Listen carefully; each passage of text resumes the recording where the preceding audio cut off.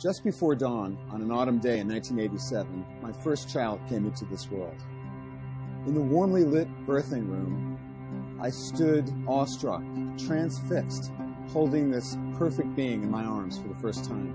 And I wondered to myself, what must I do to make the world a safe one for my son? A week later, I arrived back in my Wharton MBA class. I told my students what had just happened to me, and I asked what it might mean for them. What will you do to weave the strands of work, home, community, and your private self into the fabric of your own life?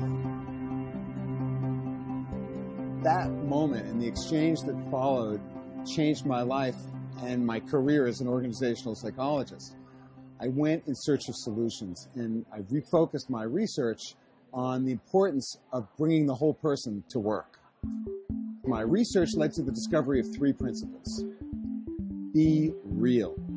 Act with authenticity by clarifying what's most important to you. Be whole. Act with integrity by respecting the most important people in all the different parts of your life. And be innovative. Act with creativity by experimenting with how things get done. 1999, I was asked to join Ford Motor Company as the senior executive responsible for leadership development. Total leadership became my shorthand for our way of developing leadership in all aspects of life. The purpose of total leadership is to create what I call four way wins measurably improved performance at work, at home, in the community, and for your private self, your mind, body, and spirit. It's not about work life balance. That's impossible. It's about creating greater harmony among these four parts, finding their mutual value.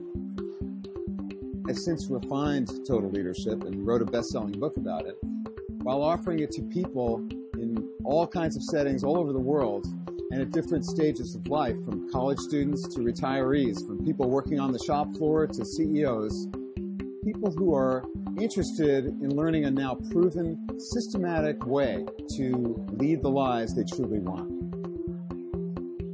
My goal in this course is to bring the prospect of four-way wins to you, showing you step by step the things that you can do now to be a better leader by having a richer life, and to have a richer life by being a better leader.